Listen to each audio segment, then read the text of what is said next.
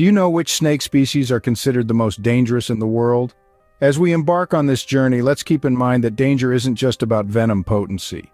Aggressiveness, human fatalities, and even factors like habitat, human population density, and medical treatment availability can all sway perceptions of danger.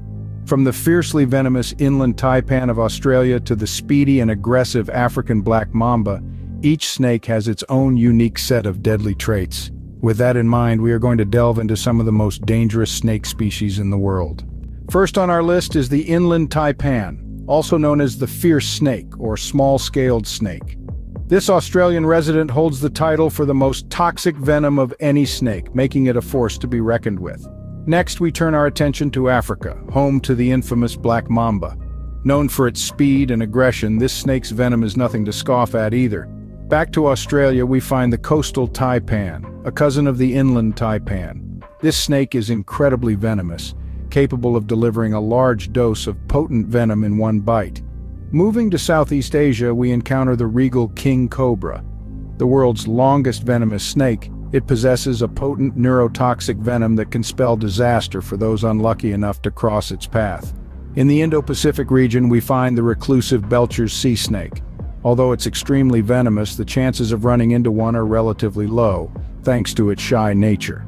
The saw-scaled viper found in Africa, the Middle East, and the Indian subcontinent is known for its potent hemotoxic venom.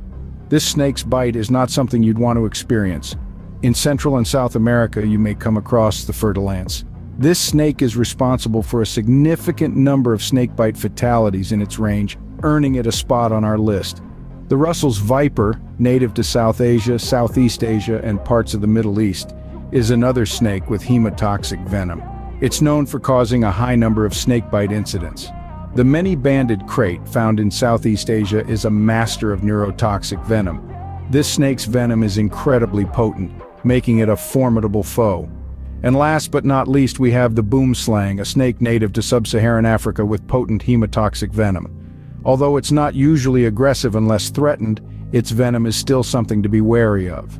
There you have it, 10 of the most dangerous snake species in the world. From the venomous inland taipan to the fast and aggressive black mamba, each of these snakes carries a unique threat. Factors like venom potency, aggressiveness, and human fatalities help us measure their danger level. Yet remember, their perceived danger is also influenced by habitat, human population density, and medical treatment availability. Remember, while these snakes are dangerous, they generally avoid human encounters unless threatened. Stay safe, respect nature, and keep learning. Thanks for watching.